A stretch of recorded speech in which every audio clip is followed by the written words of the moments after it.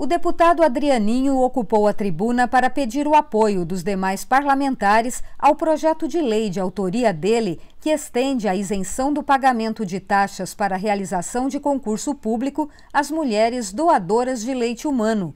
Já existe uma lei estadual que concede este benefício para doadores de sangue e de medula óssea. A intenção é alterar a lei, beneficiando também as mulheres que estejam amamentando e que decidam doar o excedente para os bancos de leite humano instalados em hospitais do estado. O alimento doado é destinado a mulheres com dificuldade de amamentar e a bebês prematuros ou com algum problema de saúde que estejam internados.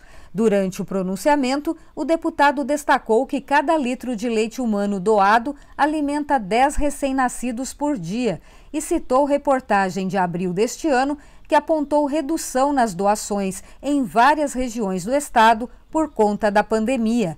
Em Mafra, por exemplo, as doações caíram pela metade no ano passado. E na Grande Florianópolis, o Hospital Regional de São José chegou a ficar 20 dias consecutivos sem nenhuma doadora. Esta casa aqui tem se destacado, já, a gente já tem acompanhado em outras oportunidades, como a questão da criação do Maio Branco, dedicado à realização de ações para estimular as doações né, sobre a questão do aleitamento materno nós apresentamos essa proposta legislativa para que possa ser é, ampliada essa discussão da doação do leite materno no estado de Santa Catarina.